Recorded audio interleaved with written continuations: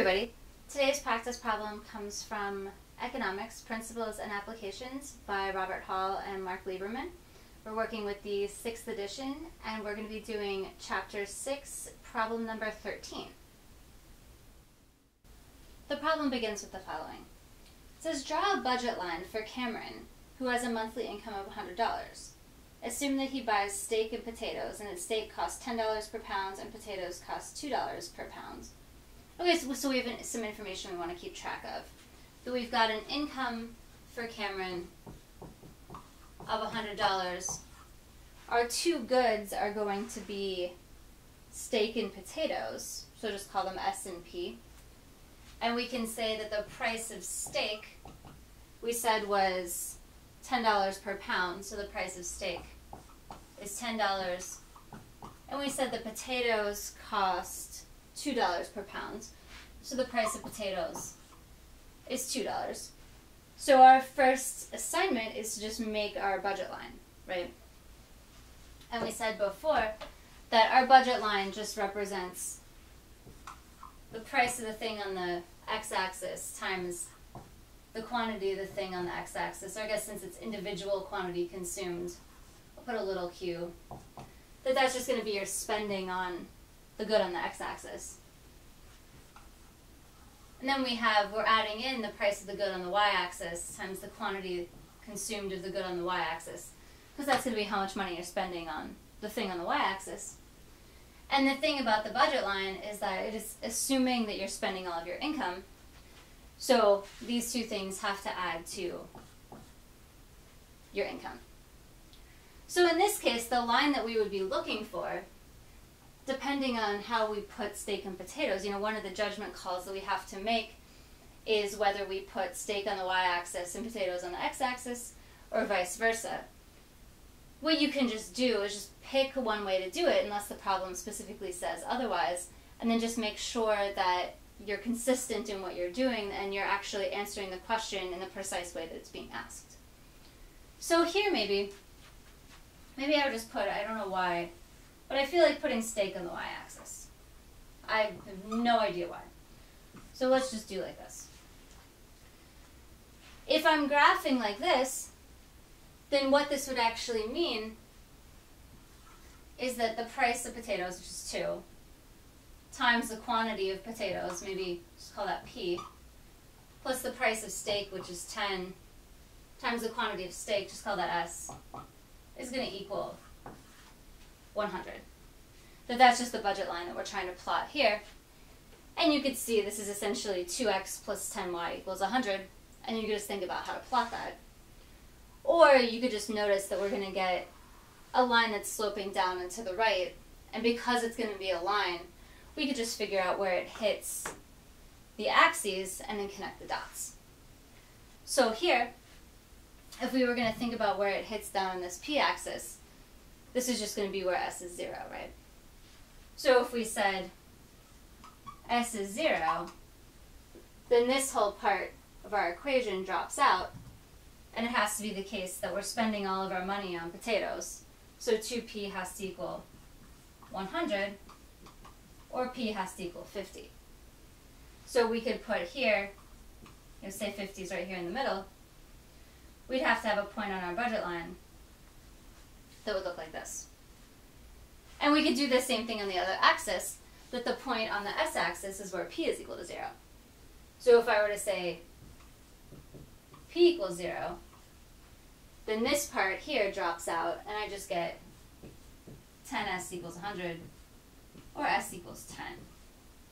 And again, let me just say that maybe 10 is just here. It's not perfectly to scale.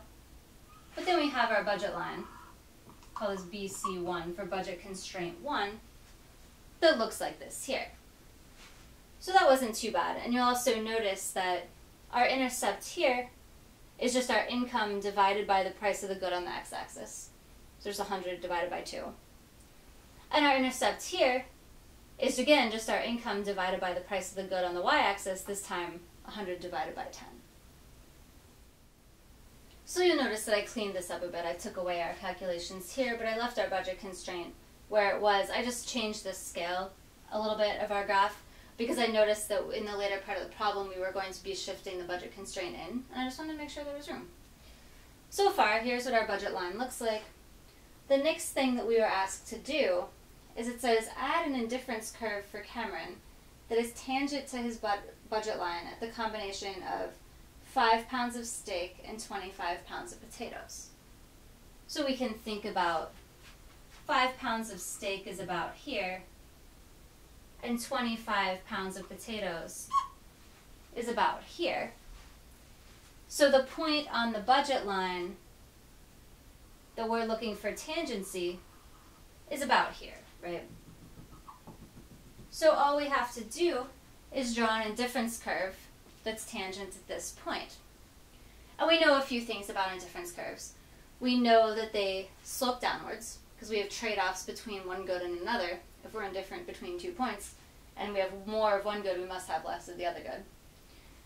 And we also know that they're bowed in towards the origin. So if we have a typical looking indifference curve, we would draw something that looks like this here.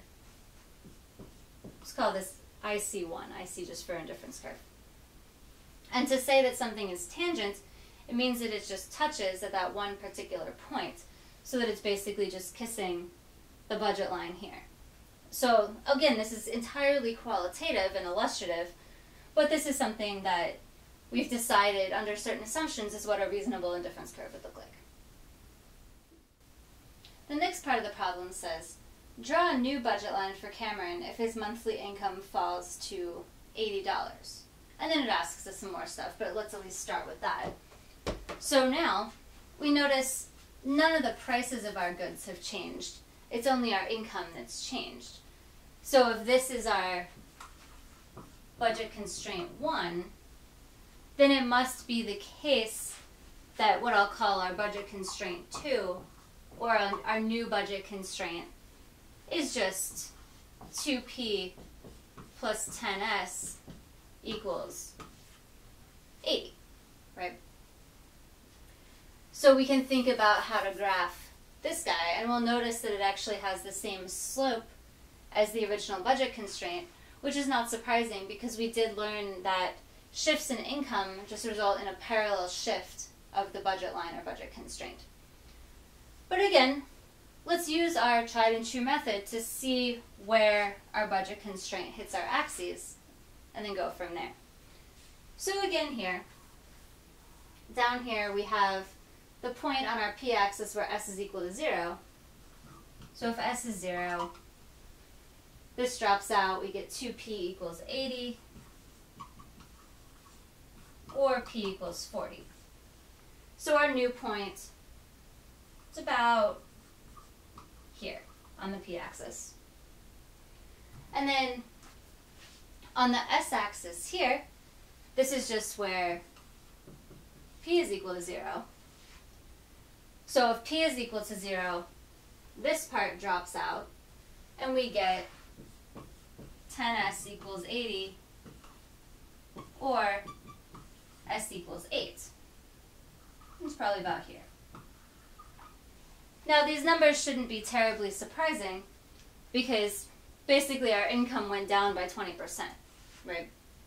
So if our income went down by 20%, then the amount of the goods that we are able to afford goes down by 20%. And 50 minus 20% of 50 is 40. 10 minus 20% of 10 is 8. And we get a new budget constraint that looks like this here. And this confirmed our suspicion that when all we have is an income change, we just get a parallel shift of our budget constraint. And we can see that decreases in income result in shifts towards the origin, or a decrease in our possible consumption, possi- you know, our possible consumption choices.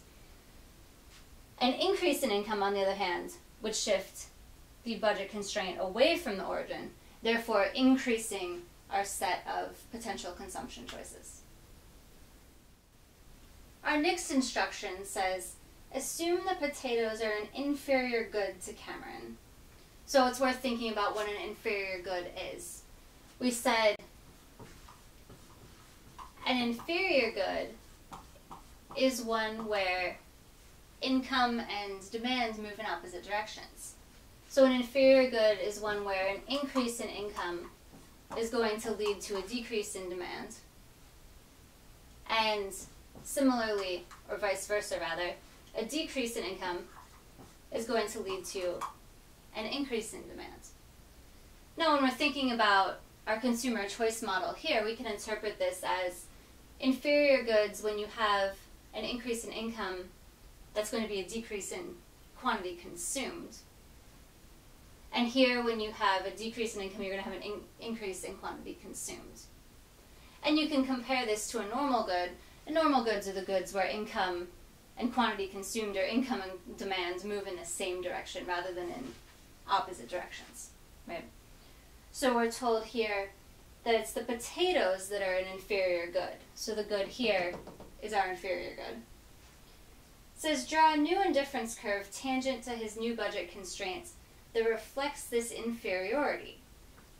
So we have to draw an indifference curve that's tangent to this new budget constraint where because of this income decrease, he's actually consuming more potatoes than he was before.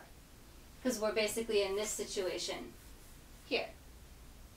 So we say it has to be tangent at some point to the right of this dashed line at this 25, right? So we can think about how to make that happen. And it's generally helpful to sort of start at the point of tangency and work from there. So let's say we make the point of tangency here. Then we can make an indifference curve. Remember, they can't cross. They have to be somewhat concentric. But at least roughly speaking, you could make something that looks like this here. Just call this IC2. Maybe not perfect, but you can see what I'm going for. You can see how I'm at least trying to have this be the point of tangency. And here, what we notice is that because of our decrease in income, we actually got an increase in the quantity consumed of our inferior good, like we wanted. And we got a decrease in the quantity consumed of the other good. So we can actually conclude from this that this other good is a normal good. Because if you think about it, you can't have two goods both be inferior goods. Because that would imply that when you have a decrease in income, you're consuming more of both goods, which you just mathematically can't do, right? So if the potatoes are going to be an inferior good, it must be the case that steak is a normal good, and that's consistent with what we're seeing here. Now, the last part of the question says, what will happen to Cameron's potato consumption? Well, we knew what was going to happen to Cameron's potato consumption simply from the definition of inferior good. We can also just read that from the graph here. Like we said, his potato consumption is going to increase. And we said, by definition, his steak consumption was going to decrease. Again, we can see that again because we've moved from five pounds of steak to some quantity here that's clearly less than five.